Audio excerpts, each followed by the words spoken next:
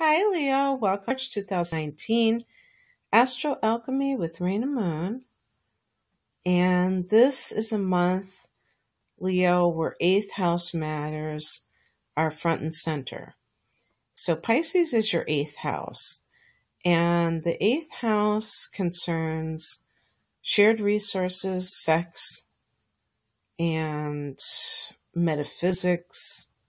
Death is the eighth house and if you combine a couple of those, specifically death and money, we get inheritances. And there are several things that makes me think that some of you may be having some kind of an issue with inheritance because we have Mercury retrograde starting on March 5th in that eighth house and at 29 degrees of Pisces.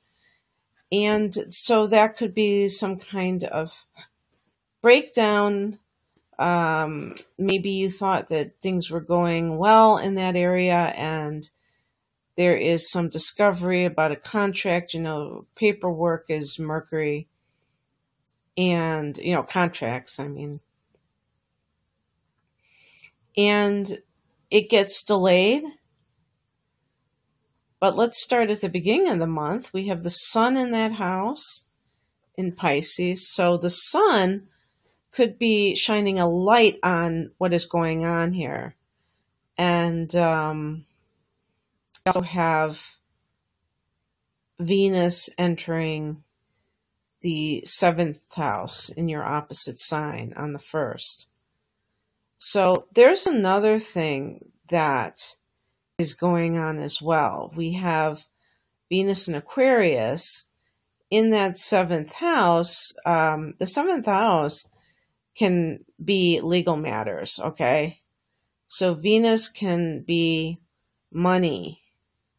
Um, and so it's a possibility that when I talk about the eighth house, if you are divorcing a spouse, for instance, then those could be your shared resources with that person that are up for debate or whatever the Mercury retrograde is about, researching, trying to find out what's going on with this. So, Venus in the seventh can also bring marital harmony. And um, like I said, on the fifth, there's a Mercury retrograde in that eighth house. So communication breakdown with something perhaps concerning money that you are connected to with another person. On the 6th, Uranus goes into Taurus, your 10th house of career. And then on the same day, we have a new moon in that eighth house. For the Uranus in Taurus, this is going to be seven years long, Leo, so you better get used to it. Uranus in the 10th house can be wonderful, I think, especially if you are a Leo who happens to be in the entertainment field. Whether you're an actor on the stage or whether you're maybe even a YouTube personality, maybe even that would qualify, I don't know. But something where you are entertaining people, that you're in front of people. Uranus, the 10th house is, is your career, but it's also your place in the world. Uranus can create sudden fame where suddenly a lot of people know who you are. So Uranus has a very uh, erratic pattern attached to it, but and so it can bring surprises because it can do something out of the blue.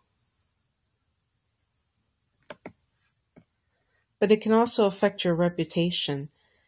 Um, you suddenly become a household name or known at least in your field out of nowhere, you know, kind of this wild card type of a thing. So that's pretty exciting if you're especially if you're in a field where you want that kind of attention or recognition.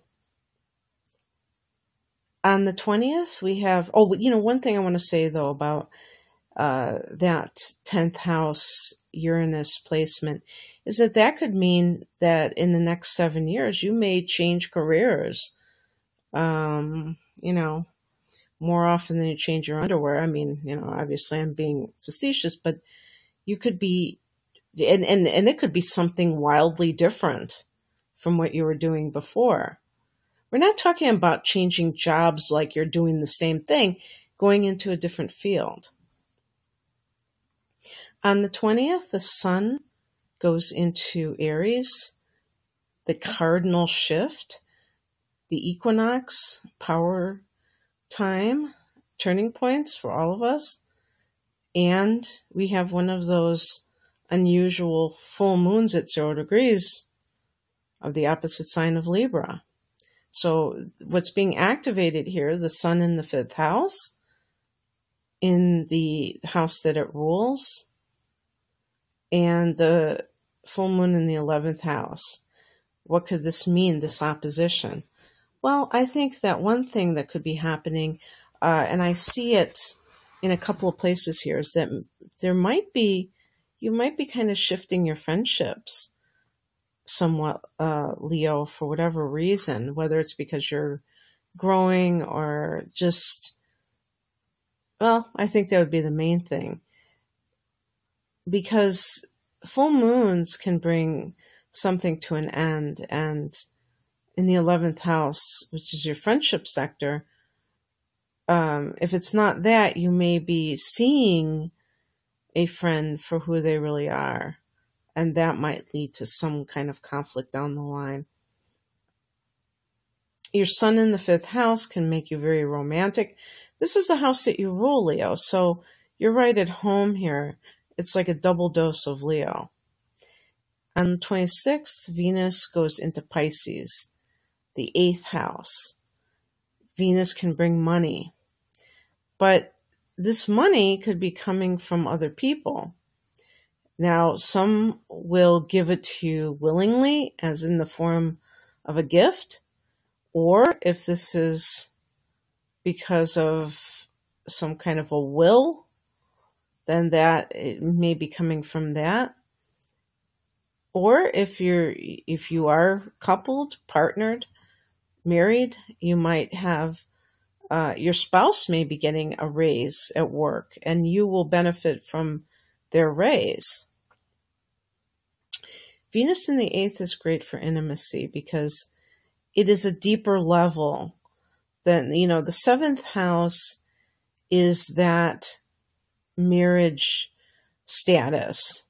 You get married, you have the ring and the cake. And um, that's nice. And you have that status, Mr. and Mrs. Uh, but the eighth house is what, you know, the emotions are. Scorpio rules that house. It's a water house. You know, how do I really feel about this? Venus in the eighth is like digging deep with your love partner. On the 28th, Mercury turns direct in that eighth house. So um, that can be the re- resolution of something. Maybe it is monetarily monetary. Maybe it's who knows. Um, you know, th- one thing this could be is some kind of um, research that you're doing in terms of occult matters. Now, um, I wonder if Mercury retrograde would be associated with meditation itself. The eighth house isn't meditation per se. I would, I would put the twelfth house as meditation. The eighth house is the occult. So we're talking about, which sounds so ominous, doesn't it? just talking about metaphysical um, topics. But in addition to that, you know, anything that has to do with the secrets of the universe or secrets in general is the eighth house. But um, also astrology, tarot, these divining tools, these things that people use, um, maybe this is a course that you started and you're going back and doing it. Um, yeah, that could be what it is. That you had quit and now you're going back. But then, you know, and I'm not saying it's some long thing, but uh, at the end of the month it gets resolved. On the 31st, Mars goes into Gemini, and that's your 11th house of friendship. And that's what I was talking about. So we have a full moon in that 11th house, and then we have Mars, and Mars can bring war, can bring conflict. So you find out your friend has been doing some dirt against you, and you confront that person. Or it doesn't it doesn't have to be. It could be that you're just more active during this time with friends or with groups of people. Again uh, there is a connection in this month to your 10th house because for most of the month mars is in your 10th house so this means that you are very ambitious leo in March with Mars in the 10th house. And when Mars goes into 11th house, I wouldn't be surprised if it has something to do with a continuation of your career goals. So maybe you have kind of like worked your way up to some position and now you want to really network so that you can open up the field, open, you know, get more contacts because you know that that's going to mean more business. And so it might not be that you're doing this for pleasure. You might be doing this with an eye for um, career success. But I think overall, whatever that eighth house means, that's an important one. Um, so you know, with Venus in the seventh house, the eighth house could simply be that you're really connecting deeply with your romantic partner with but this isn't just like somebody you're dating i mean this is your marriage partner your committed partner and you you and aquarius have been through the eclipse cycle in the last couple of years so that affected your seventh house of aquarius um, and there were some lunar eclipses. There were some times when maybe things were threatening to just break off altogether. And so maybe you have discovered that you have to really um, communicate at a deep level in order to to stay together. So this may be you starting that process with your partner and uh, that's that's very important as far as I'm concerned.